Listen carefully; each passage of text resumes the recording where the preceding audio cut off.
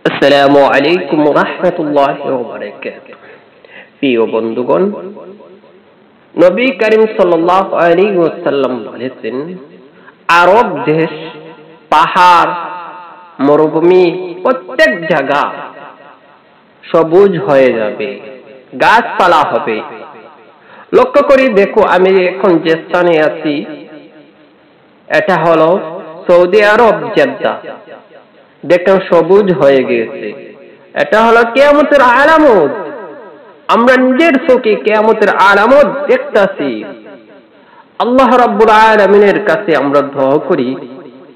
বিভিন্ন ফিতনাত থেকে, দার্জালের ফিতনাত থেকে ইয়াজুস মাজুসের ফিতনাত থেকে আমাদেরকে হেফাজত করেন যেন। আমিন।